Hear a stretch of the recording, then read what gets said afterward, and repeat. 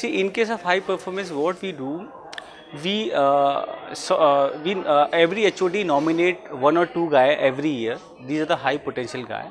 So first of all, uh, these all these guys, the shortlisted guy, they have to uh, uh, undergo one test. This is a written test. This is a it, it, this test consists of many things, like logical reasoning, uh, his, uh, his presentation, his past uh, performance, like this thing. Okay.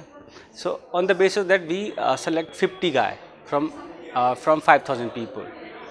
After that, we have a four CEOs. They take uh, their interviews and we shortlist again 25. Okay, from them. So the, the last number was 25. Then we have a program uh, for their further development. Like we give them, you know, space specific project for uh, measuring their performance.